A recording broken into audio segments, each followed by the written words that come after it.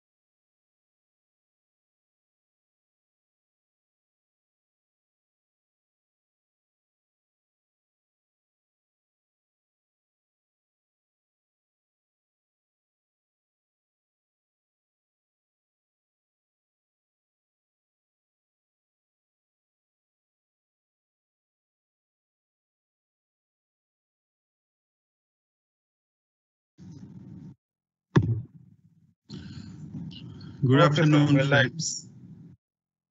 Good afternoon, friends. It's a great pleasure for us to have Professor Tom Welton with us as a part of our one of the final lectures of the summer research training program, which started about two months before. And uh, Professor Welton, it's a pleasure to have you.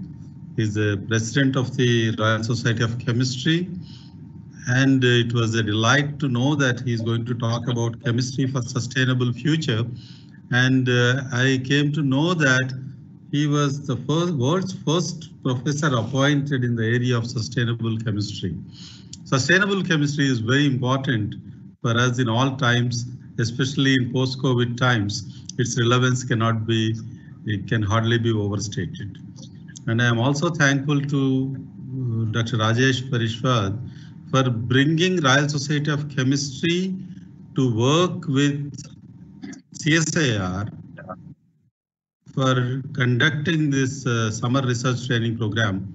And my colleague, Professor Alok Dhawan, Dr. Mudkavi and many others have joined with us to provide something for the people who were locked who are locked in the COVID times and the summer research training program has several components and one of them is this eminent scientist lecture series. And the other one is lectures in specific areas. And we also have a research project and uh, close to 4000 people have already submitted their final projects.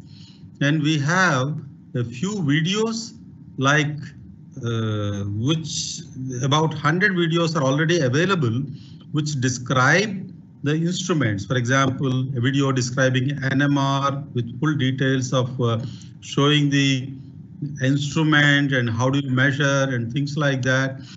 And we also have the quiz programs, essay writing competition, and also electrician competition, where people will record what they have done and then upload, and this is now being evaluated. And all of this is possible due to high levels of commitment by several dozens of scientists and students at CSIR NEIST and in other CSIR laboratories.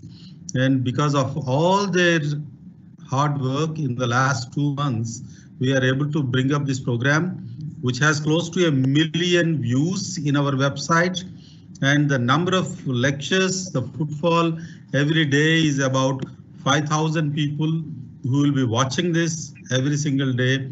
And this involve students at BSc level, master's level, as well as graduate level, those who are doing PhD and several mentors who are involved. And it's a real great honor for us to work with Royal Society of Chemistry, which played a very important role in bringing a great uh, value addition to the entire program, along with DBT India Alliance and a few other people who have come to support this. And with these few words, I really thank Professor uh, Tom Welton for sparing his valuable time, my good friend Dr. Rajesh Parishwad and Dr. Sharma from Royal Society for all their support and Professor Alok Dhawan and I request Dr. Swapnali Hazarika to introduce Professor Welt. Swapnali, please. Thank you, sir. Thank you, sir. Thank you, sir. Thank you, sir. Good afternoon, one and all. I am indeed honored to introduce such an eminent personality for today's session. Professor Tom Welton is the world's first professor of sustainable chemistry and is based at Imperial College, London. He began his academic career with a BSc at the University of Sussex, followed by a DPhil in the chemistry and spectroscopy of ionic liquids.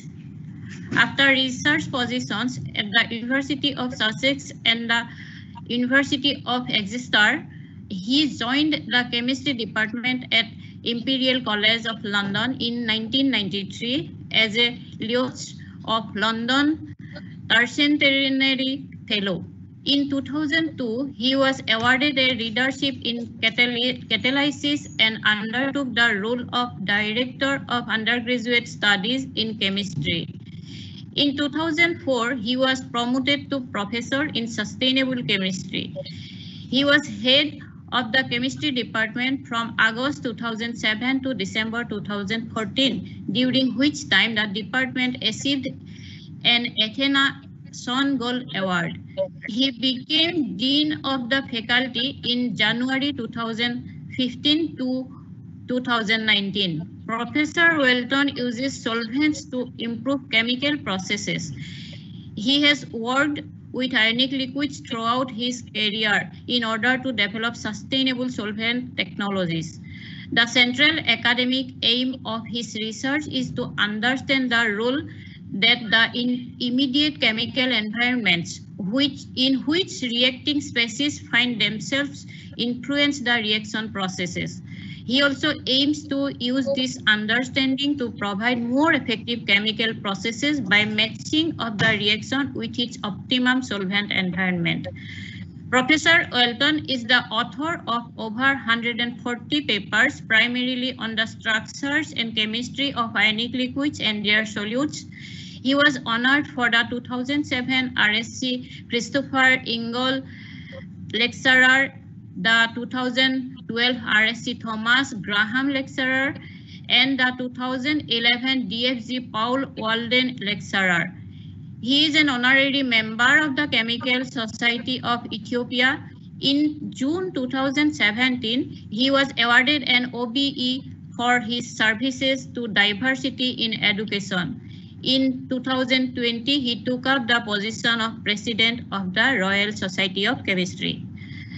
With this, I once again welcome you, sir, and I request you to kindly begin your presentation on chemistry for sustainable future. Over to you, sir. Thank you. Thank you all. Thank you very much for your kind um, introduction, of course, for the invitation to come and speak to you all today. And the moment I start speaking, an aeroplane is flying over. so I apologize if there's a bit of background noise for a moment or two. Anyway, today I'm going to um, speak to you about chemistry for a sustainable future. I'm not going to go into lots of detail of chemical project projects that I have done or other people have done in this area, but more to give you an overview of um, what do we mean by um, sustainability. So there we go. So these are the kind of things that we think of on a day-to-day basis as the products of the chemical industries. They are things that we rely on in order for us to be able to maintain our lifestyles. And so everything from pharmaceuticals to simple disposable things, um, we'll come back to that in a moment, such as, you know, biro pens, um, uh, clothing, cleaning materials, personal hygiene materials. These are all products of the chemical industries that we would not wish to do without. However, these equally well be described as products of the chemicals industries. So pollution, whether accidental or deliberate, um, and it's in many people's minds that this is what they think of when they think of chemistry, rather than the things I had on the previous slide. But I want to focus for a moment on the top left-hand corner picture. And this is a picture from England in the 1960s, so when I was a very young child. And what you can see in this picture is foaming of the River Aire um, in England. And that foaming was caused by detergents, non-biodegradable detergents. And for some time, there'd been concern about this. And I sort of just remember this as a child, um, seeing pictures like this on the news and discussions of what can be done about it. And of course, what needed to be done about it was the introduction of biodegradable detergents. And the problem was that the detergents that you can see causing this problem uh, were formed by branch chain alkyl, alkyl benzene sulfonate detergents, which do not biodegrade. What was required was the introduction of linear alkyl benzene sulfonate detergents that do biodegrade. But of course, in order to do that, a technology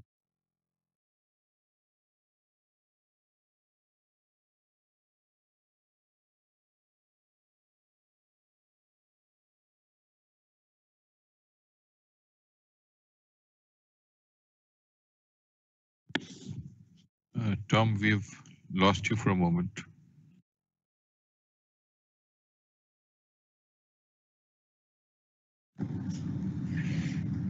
Vishwajit, where was the problem? We have lost him or? Uh, some network issues. From our place or their place?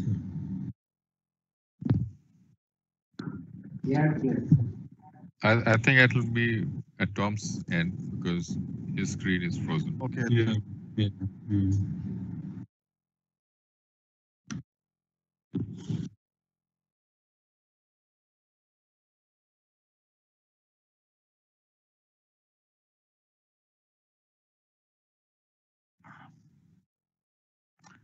One minute. I will speak to him. Sure, sure, Rajesh is se, que se enfoca.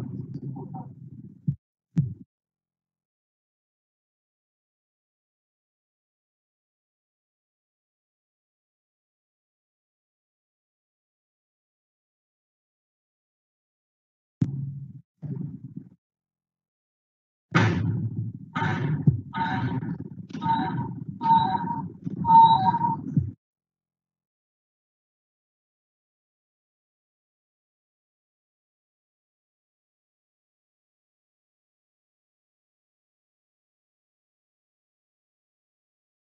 उठा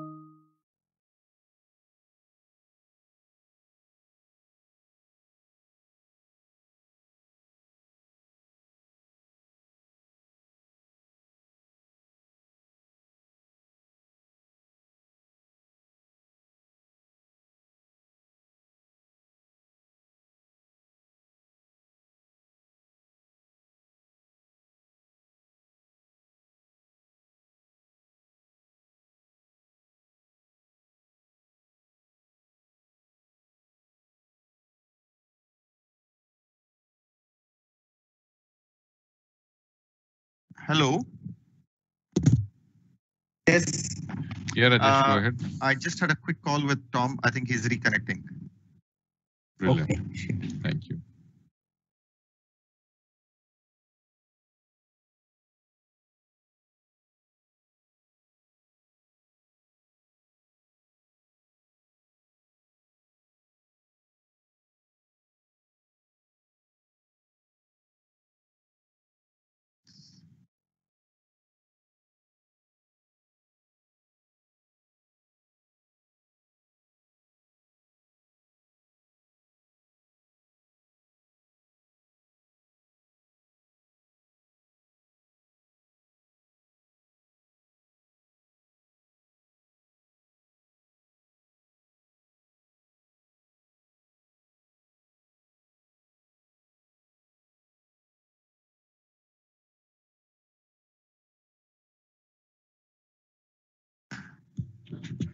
Okay, so I'm here. Yeah, When did you lose? If you tell me when you lost me, I can go back to the presentation at that point.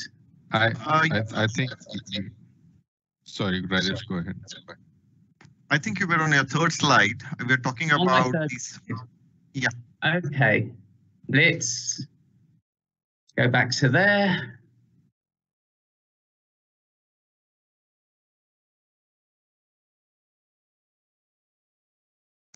No, no, There we uh, go. the next. No, no, no. On the uh, on the reverse, next one. On the next one. Okay. Oh, Well, we were talking That about one. yeah. Correct. okay. Right. I'm terribly sorry about that, everybody. the internet is a wonderful thing, but then it also um, has problems. So let me again briefly just come back to this. So uh, this is a picture from a river in England um, uh, in the 1960s when I was a young child. And what you can see is the um, foaming of the river, which is being caused by detergents, non-biodegradable detergents. And those, those detergents uh, were made from branch chain alkyl benzene sulfonates, which do not biodegrade. And so in the pictures on the slide, you can see those on the left-hand side. What was needed were linear alkyl benzene sulfonate detergents, which do biodegrade. But of course, what was necessary first was a technology that enabled that to happen. And here is that technology. And so zeolites have been known for, you know, probably 100 years by um, this stage and as uh, natural minerals. And what had been discovered about zeolites was their capability to act as molecular sieves, that is, to sort materials according to their size. Some would absorb and some would not. And particularly what had come about, um, particularly with the introduction of synthetic zeolites, which were aluminosilicate um, structures, was that five angstrom, so five angstrom is the size of the pore, um, molecular sieves could selectively separate out linear C10 to C14 alkanes from other oil fractions. You get the alkanes as a linear as a linear fraction now, and so then you can either chlorinate them or uh, maybe dehydrogenate them to linear alkenes, which give you give you alkylation agents. So you can then do an arene alkylation, and that gives you the precursors which enable the non-biodegradable linear alkyl, alkyl benzene sulfonate detergents. And the reason I give you this example is because um, it, it really says a lot about how we have to think about the impact of chemistry and chemical products on the environment. Of course, you know, nobody is thinking, oh, what mess can I make and let's make things as terrible as I possibly can. But what is required is a technology which is capable of delivering the thing which you need in order to lessen the impact on the environment. And here, the technology that enabled it was the newly gathering uh, technology of um, uh, solid zeolites, uh, solid acid catalysis, all of those things, which were still relatively new in the 1960s. So it's the coupling of an available technology with a desire, which is what we need to be able to achieve. But let me take a, a back and um, think about sustainability in general, and particularly the concept of sustainable development. And uh, there was a real landmark in 1987 um, when the UN World Commission on the Environment and Development reported, it's called the Brundtland Commission, sometimes the Brundtland report, but actually the title of it is Our Common Future. And it came up with a very simple uh, definition of what sustainable development was, and that is development that meets the needs of the present generation without compromising the ability of future generations to meet their own needs. And then that's very helpful to us because it gives us a way of thinking about sustainable chemistry. And we can think of sustainable chemistry the implementation of the concept of sustainability in the production and use of chemicals. And so that in, in many ways, I think is a, a reasonable summary um, for the you know now massive field of, of green chemistry. How do we lessen the impact of uh, the chemical industries upon the environment while still providing the chemical products that we need. But then there's an important addition, which is the application of chemistry and chemical products to enable sustainable de development to happen. So that's a very simple idea. However, I would say there, and I'm about to demonstrate that there's a small problem, and, and that is how do we know what the needs of our future generations are going to be. And I love this quote from Niels Bohr, that prediction is very difficult, especially if it's about the future. So here's a picture from St. Mark's Square in um, Vatican City in 2005. You can see it's at night time and you can see the crowd in um, the spotlit um, square. Now I'm going to show you a picture taken from almost exactly the same place in 2013 and spot the difference. Well, of course, it's obvious, isn't it? What you can see here is the lights of people's mobile phones and what appears to be an iPad directly in front of us. And then the key technology of these smartphone devices is really, if you think about it, it's the swiping screen. It's our ability to touch the screen and control the device. Now, if we think of um, all of the different components of our smartphone, what we can see is that there are many, many, many different elements that are involved in our smartphones. Um, from things like um, connectors, batteries, wiring. But what I want to focus on today is here. So indium tin oxide. So indium tin oxide is the material which allows our swipey screen to work because it is transparent and conducting. And so that is the central reason why we can have a touch screen. So now I want you to, sh to show you this particular periodic table, which looks a little bit unusual. Um, it was introduced by EuChemS last year for the International Year of the Periodic Table. And what it's showing us is the relative abundance of different elements. And so this is a logarithmic plot. So twice the size is 10 times the amount. Otherwise, all we would see on this screen would be hydrogen and oxygen. And you can see what they have done for us is they've put a, a, a small image of a mobile phone in every element that is inside a mobile phone. And they've color coded it. And so from, uh, you know, Green meaning there's lots of it, plenty, plentiful supply through yellow and amber with increasing risk um, to, uh, to the supplies, up to red, which is a serious threat to the supply of that element in the next hundred years. And if we look very closely, there are indium and tin.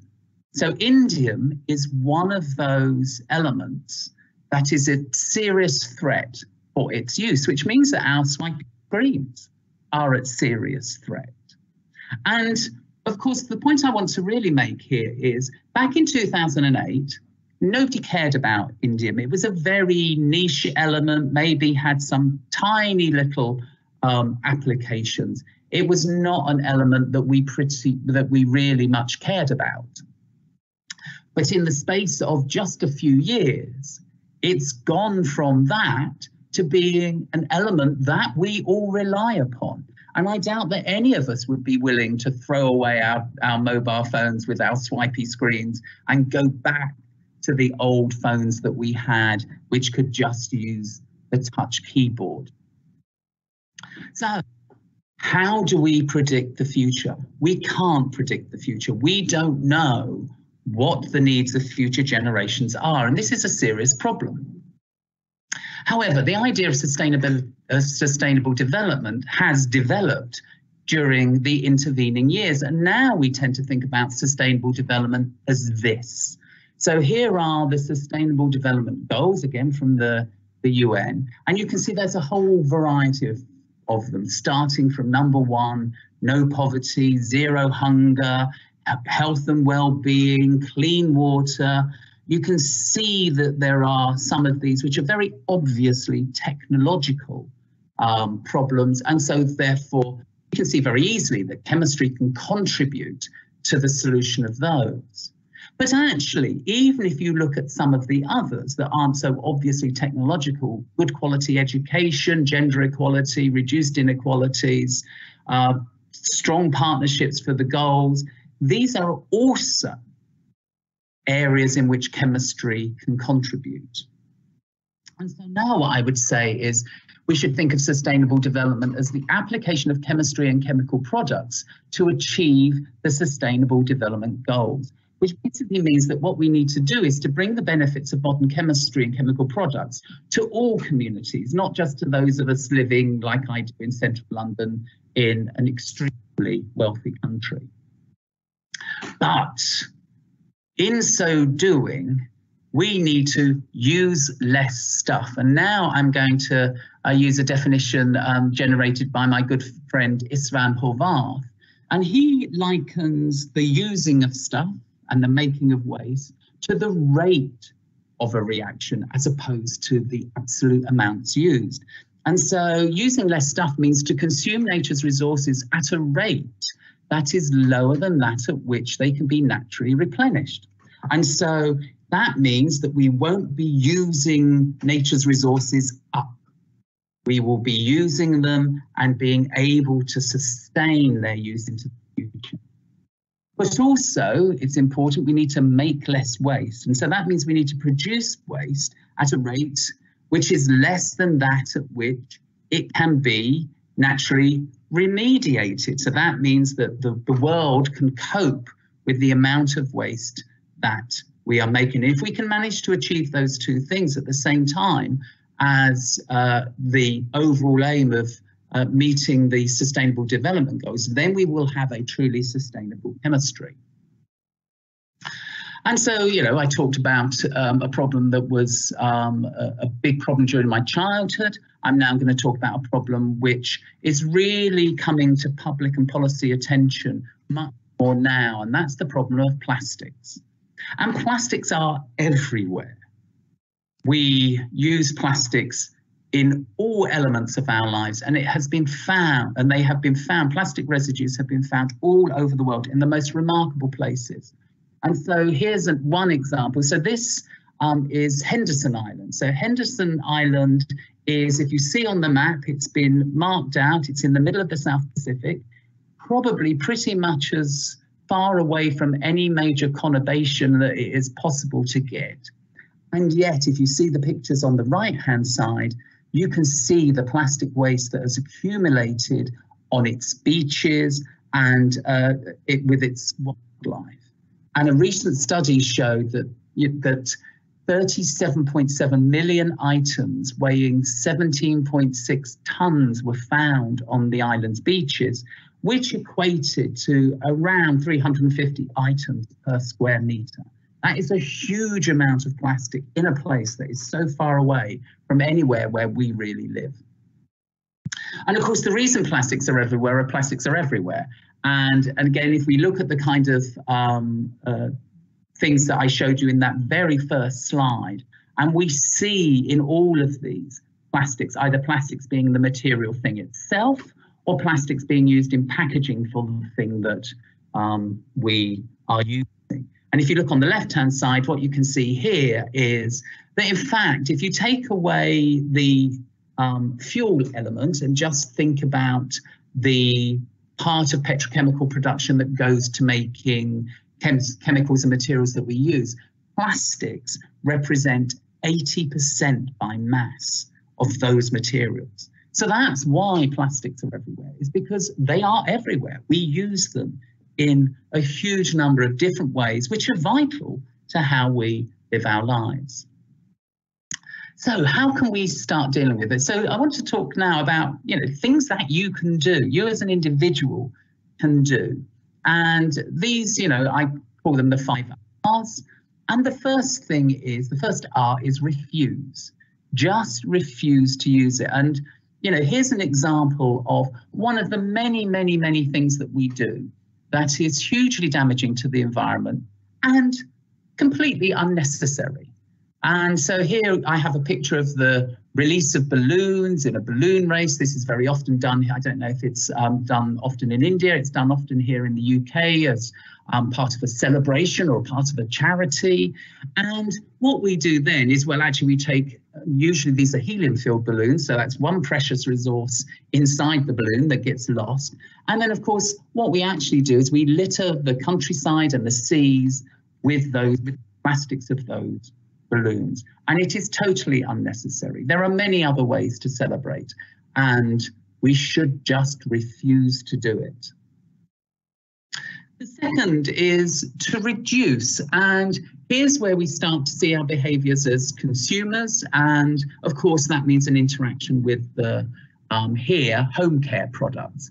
And reduction has been going on for some time, and uh, you know maybe a decade ago we would have um, gone to the supermarket and bought our here um, washing liquid in you know a three or five liter bottle and taken that home.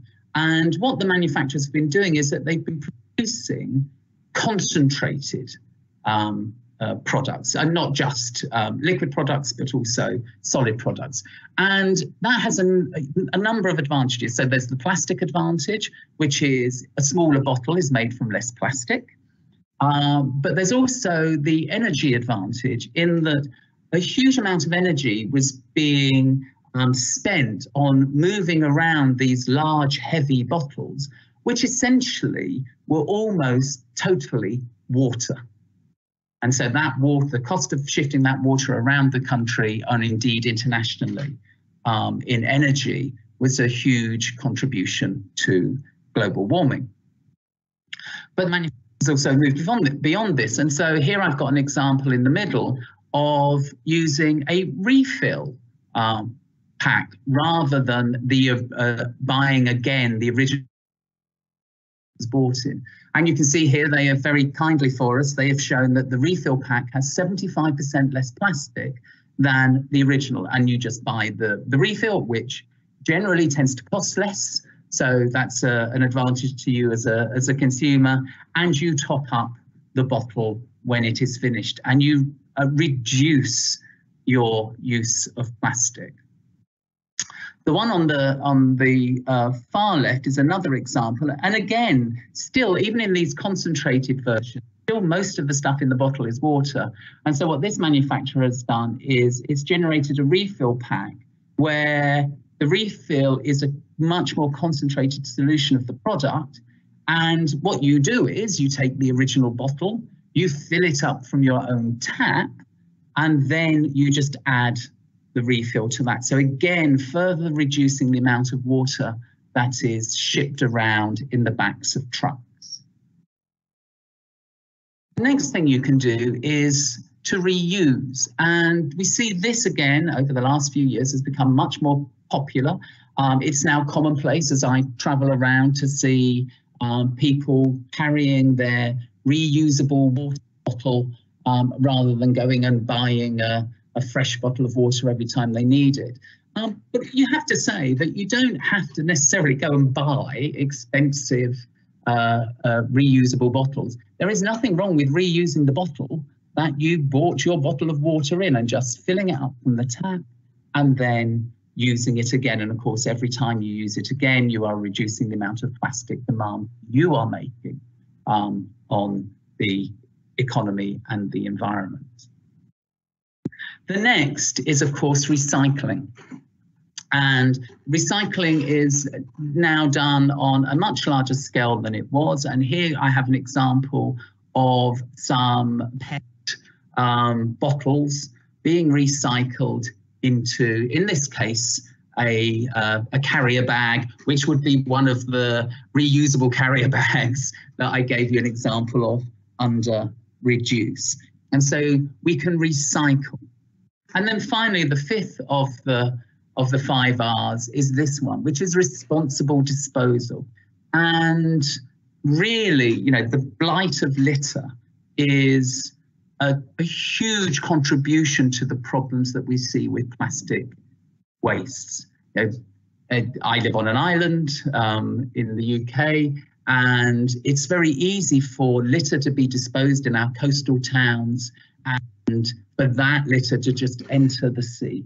I mean, it happens all the time. And so responsible di disposal. And of course, things like recycling can only occur if we as individuals take the time and energy to be responsible in our disposal of the things that we use so that they can be recycled.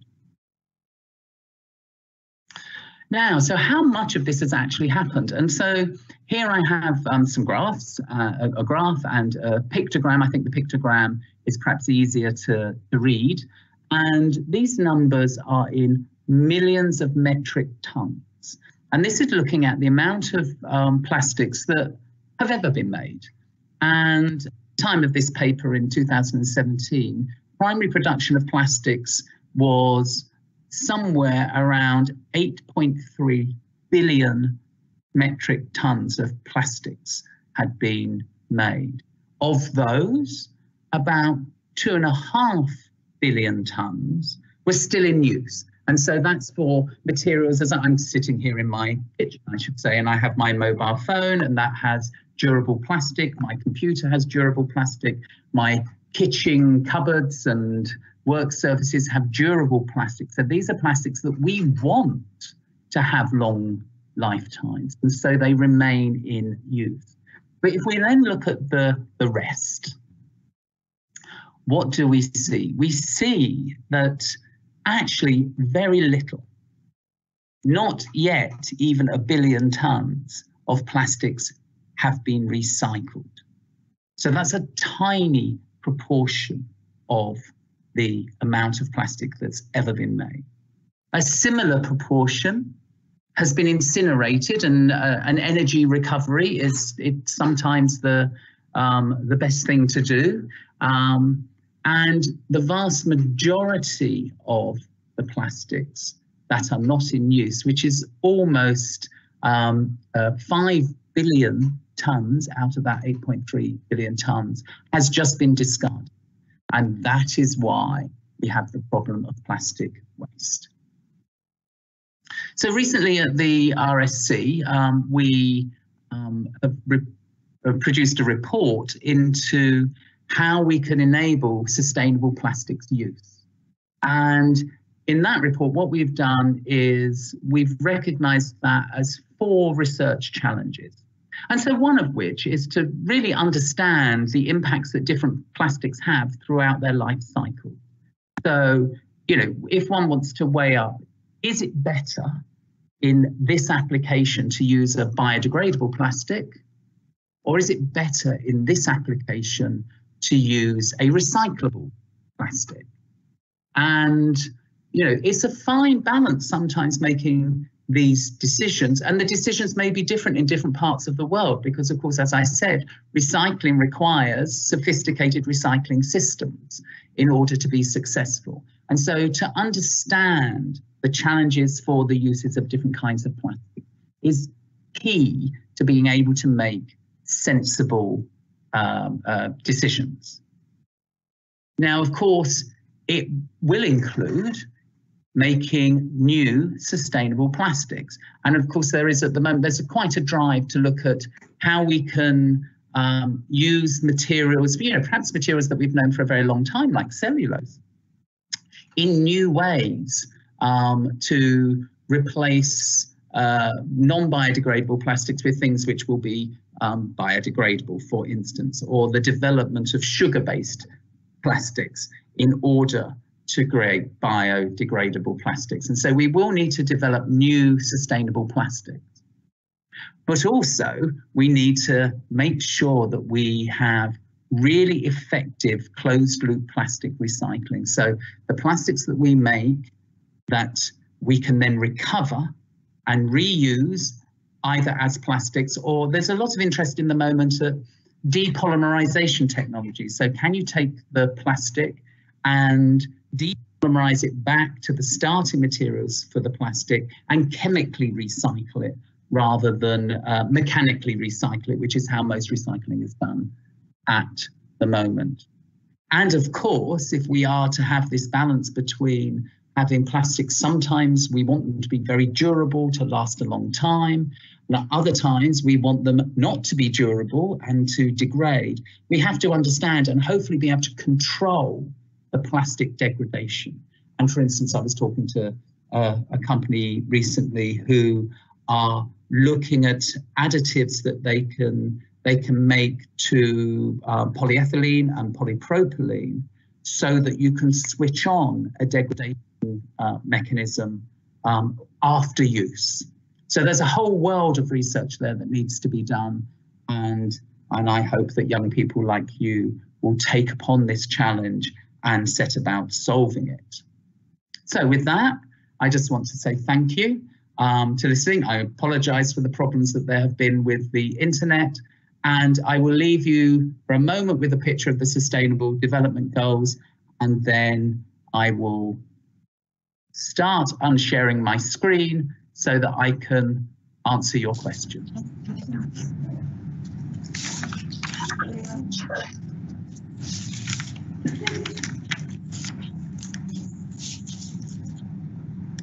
Right. Oh, so I can see I can see a number of questions. How are we doing? Are you going to ask me the questions or am I just going to look down the list?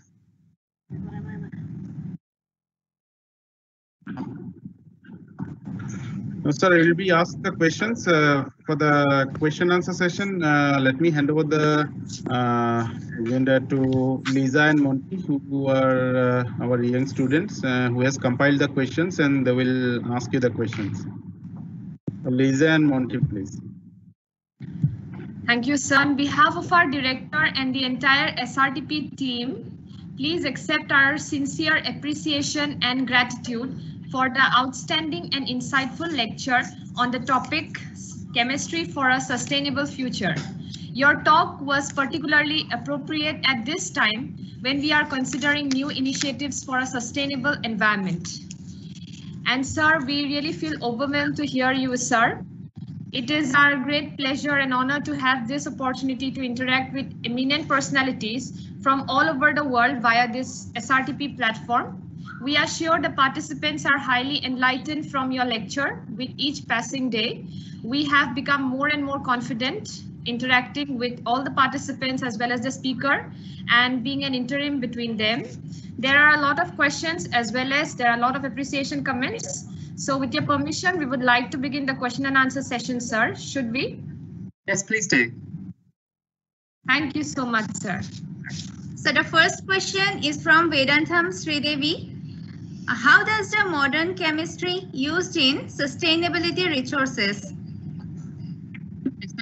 This is actually part of my own research and um, of course, not just in terms of the kind of things that I was just talking about, but um, because of uh, global warming, but also because of uh, the sources for crude oil are getting more and more expensive to access and more difficult to access as we, you know, no longer have cheap and readily available um, supplies. What we can what we can see is um, a changeover to the use of biomass for making chemical products. You know, although you can, you know, we can imagine having every car with a battery, and so we don't need to burn fuel in order to move the cars around. But material things need carbon; they need material, and and so many people are interested in accessing biomass as uh, for sustainable resources. There are difficulties with this, and so um, you know, successful biomass products on the whole at the moment do tend to be materials that compete with food production. Um, we have to be very concerned about that and make sure that um, we don't end up um, disadvantaging people who are already disadvantaged by taking out of food production things that should uh, should agricultural land that should be used to produce food. Um, but there's a, a, a whole load of research working on the uh, accessing of materials from lignocellulosic biomass, sometimes called second generation biomass, which is essentially the non-food part of the plant. And so um, can be using agricultural waste, for instance.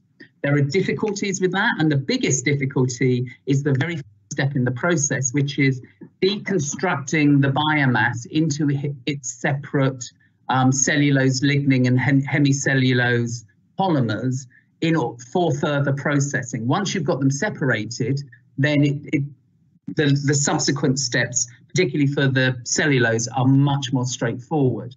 Um, but yeah, so in our in our work, we are dissolving trees, and and and that is um, like the likely future sources, sustainable sources of carbon-based materials.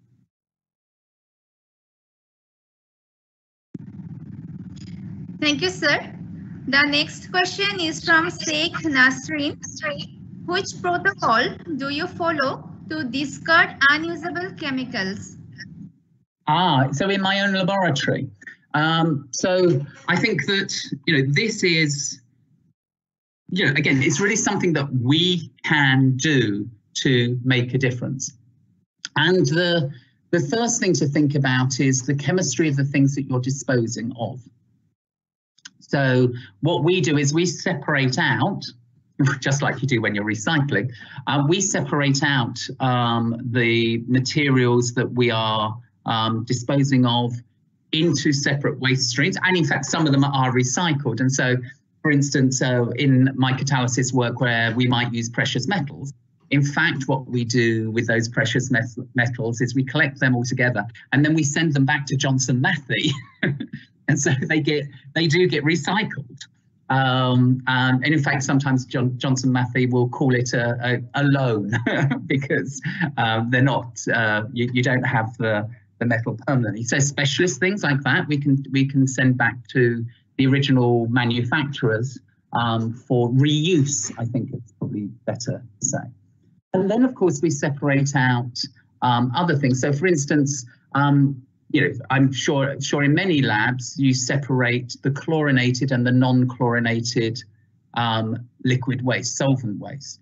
And the, the reason for that is because the chlorinated waste has to undergo a much higher temperature incineration in order to um, to, to, burn it than the uh, the non um, halogenated waste, and so therefore the cost of um, uh, of of dealing with the chlorinated waste is much higher, and a small amount of chlorinated waste contamination of the non-chlorinated waste moves it into being chlorinated waste, and so that causes a problem. Of course, the other thing that we do is we recycle solvents within the laboratory. I mean, so you know, you know, very often we all have the same experience, don't we? We, we have a liter of solvent, and it might be less than a gram of solute.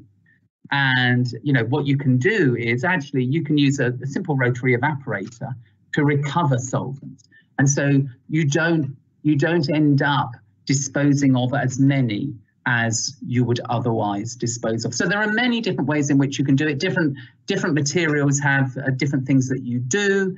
Um, you know, sol solvent waste, powdered waste. But the important thing is to take care and that's the message that I would give. Take care in the use in the disposal of unused or no longer wanted chemicals. And of course, the other thing um, which is absolutely important. So when I was young as a scientist, the typical mantra was, you know, buy a big jar because a big jar is cheaper than buying a small jar. And you would buy two and a half kilograms of something and you would use two and a half grams of it. And then that bottle would sit festering away somewhere um, until it became a disposal problem. Now, absolutely in my laboratory, we say buy the amount that you need and do not generate the waste. do not end up with unused chemicals sitting on the shelves, causing a problem for future students who come into the lab for the first time, starting their PhD. They go to their bench and there are a whole load of bottles that smell bad that they dispose of. So actually, first and foremost, I would say that in your own laboratory, only buy the amount that you need do not buy large amounts because it happens to be cheaper per gram if it's in a bigger bottle. But if you don't use it, if most of the most of what's in the bottle you end up not using and 10 years later it gets disposed of, that is not an economic saving either. So buy the amount that you need. Thank you, sir.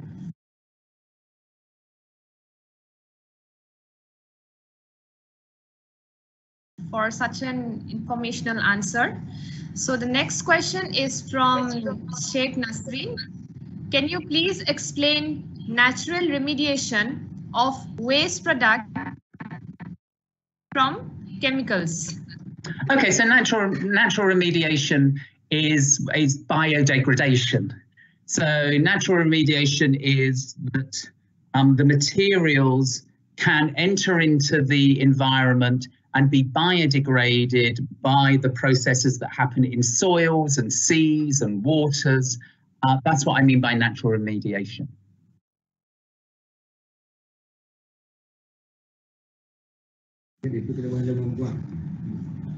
Thank you, sir. The next question is from Hargun Kaur. Will sustainable development goals be affected by this pandemic Will there be delay to achieve them or any other challenges? So, I think probably not. I mean, of course, there's the short delay of you know the the months um, that uh, we are have been experiencing, and literally the you know the you know we're not doing as much research as um, we did before the pandemic, but that that moment will pass. But and then I think the reverse will happen. I think um, what the pandemic is going to help us understand is actually just how important these sustainable development goals and that we will redouble our efforts to achieve them as part of the post-COVID world.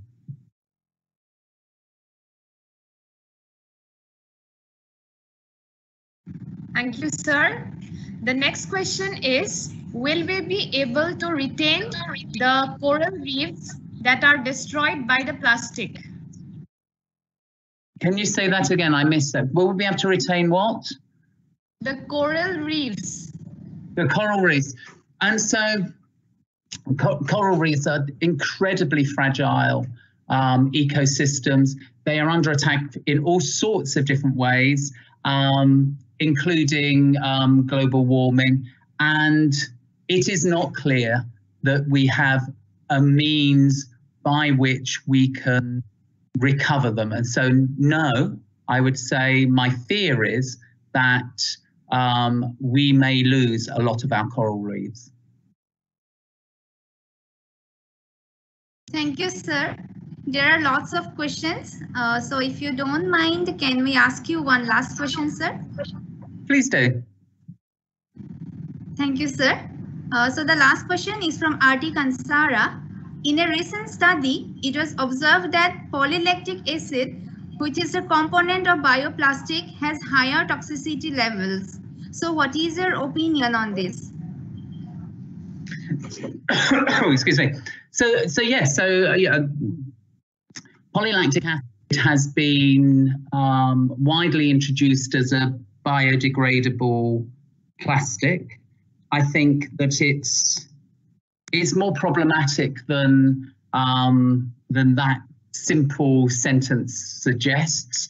Um, both the rate of biodegradation, um, the impact of its biodegradation. So one of the things when we talk about biodegradation, I'm done. The way in which it's discussed is as a mass property. So what percentage mass of this material biodegrades in you know X time. Whereas what we need to move to is much more an idea of an understanding of chemistry and the interaction of the chemistry with the environment in that what does this material biodegrade to, and what is the impact of that biodegradation product? And so it's not really an issue for poly, I mean, it is an issue for polylactic acid, not just an issue for polylactic acid, it's an issue for the way in which we approach biodegradation in the coming, we have to get away from the idea of it simply being about um, a, a, percentage mass degradation, and we have to understand what it de degrades to.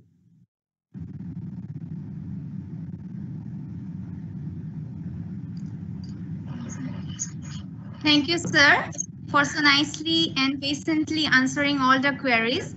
It was indeed our honor, sir, to listen to you. Sir, your years, years of research, your depth of understanding of the subject, and your ability to present it in such an interesting way has made this session really very intriguing, sir. We are glad to share that all our live platforms in YouTube, Facebook, and MS Team are filled with appreciation remarks for your lecture. Several participants have expressed their appreciation for the information you presented on sustainability. Sir, we look forward to listening more from you in the future. And now I would like to hand over the session to Lucky Seke, sir. Thank you, sir. Thank you very much. Yeah, uh, thank you, Lisha and Monty, for conducting this uh, question answer session. Uh, Professor Tom, uh, it's a wonderful talk. So our students who were compiling the questions, they have also you know, compile your uh, talk in few points and made the slides. So that is uh, now posted. So please have a look at it. And if if you would like to suggest something, then we can change it also. But uh, no, no, it's fantastic. I think I, I think it's lovely. Thank you very much. Yeah, yeah, yeah. Thanks a lot. So, uh, Dr. Ajit uh, Sharma from RSC and uh, Rajesh Parishwar from RSC both are there. So, we would like to have comment from you also.